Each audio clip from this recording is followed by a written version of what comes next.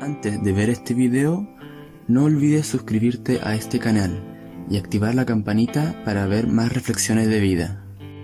Para muchos, las vacaciones y la época navideña significan solo amor y felicidad, pero muchas veces esta época provoca que algunas personas descuiden a sus propias mascotas, y eso está mal, ya que estos animalitos son parte de nuestra familia y se merecen recibir todo el amor del mundo en estas fechas. Espero que esta historia de vida nos ayude a reflexionar y no descuidar a nuestras mascotas en épocas de celebración. Tessa Lee es una trabajadora de la Fundación de Rescate de Animales Sin Hogar White Coat, que se dedica a rescatar animales los 365 días del año. El 23 de diciembre, en vísperas de Navidad, Tessa recibió una llamada y dejó de lado la cena navideña para salvar 5 vidas. Nos contactaron acerca de 5 cachorros en peligros en una propiedad privada a 45 minutos. Los cinco cachorros estaban severamente demacrados y deshidratados, comentó Tessa. El clima era sumamente frío, pero nadie impidió que fuera rápidamente a la ayuda de estos animalitos, quienes estaban temblando del frío, casi congelados. Cuando los sacó de la propiedad, los llevó en su auto rápidamente al refugio proporcionándoles el calor que podía, sin saber si lograrían sobrevivir.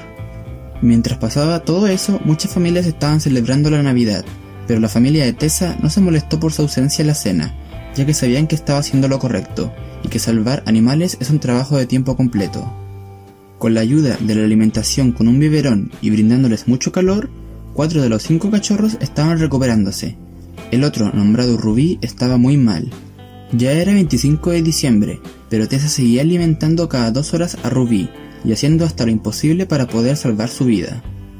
Afortunadamente todo el esfuerzo valió la pena, cuando el pequeño cachorrito pudo pararse por sí misma y caminar unos cuantos pasos. Era una señal de que se estaba mejorando.